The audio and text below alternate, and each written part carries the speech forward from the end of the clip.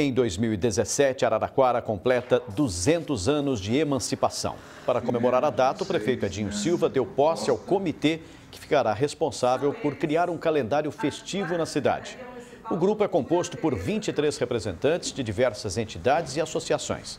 Na semana que vem já tem reunião e um concurso será lançado para definir a melhor fotografia para ilustrar o selo que será lançado pelos Correios um concurso de fotografias para que a gente escolha o símbolo de Araraquara que será traduzido no selo oficial dos 200 anos, já que o ministro Kassab esteve aqui em Araraquara e anunciou que a cidade terá um selo oficial em comemoração dos seus 200 anos. Por isso que esse comitê ele é fundamental para que ele possa mobilizar, criar um calendário de mobilização da cidade de Araraquara para que haja uma reflexão de tudo aquilo que nós avançamos nesse período histórico e daquilo que nós queremos para o futuro de Araraquara.